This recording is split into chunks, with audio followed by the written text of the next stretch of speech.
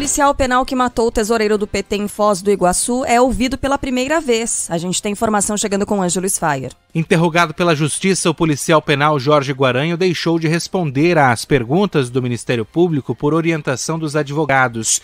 Ele responde por homicídio duplamente qualificado por ter matado o tesoureiro do PT em Foz do Iguaçu, Marcelo Arruda, no dia 9 de julho. Encerrada a fase de depoimentos, a defesa de Guaranho e o MP devem entregar em até 20 dias as alegações finais, os últimos argumentos. Após essa etapa, a Justiça decidirá se o policial vai ou não a júri popular.